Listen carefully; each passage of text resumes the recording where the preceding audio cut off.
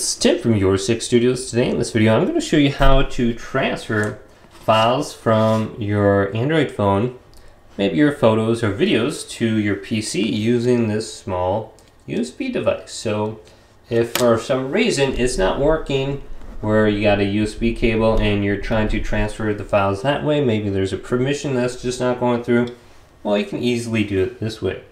So with many phones, you'll probably get something like this. It's a little OTG adapter. Takes USB, and turns it into USB-C, which allows us to do this.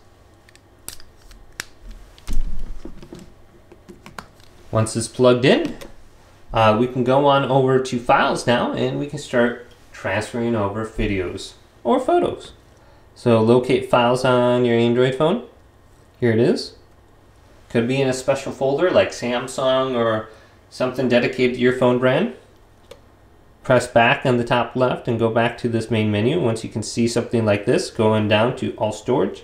Here's my USB device. You can see it's plugged in. Now we want to go to the internal storage. This is where everything's going to get saved. So we probably want to go to DCIM. Uh, this is where our camera app is going to be, where we take photos on there. There's downloads, you might have like Facebook on here or something if you save a bunch of Facebook stuff. Then we got uh, screen record screenshots, but let's go to camera. Here's all my pictures I took. Let's go to the top right and go to, and we could go to select all if we want. Then go back here. Let's go to copy to USB device pick a folder on your USB device. I'll do DCIM again. So you can create a new folder on your USB device. Mine was already just called uh, DCIM. Copy here. You can see it's going to copy over.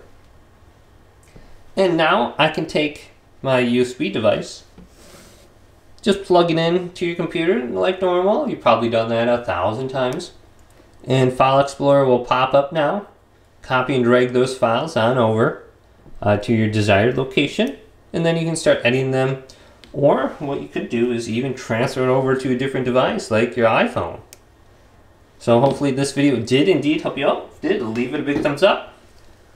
And subscribe my channel down below for more tech out videos coming up next on Your Six Studios.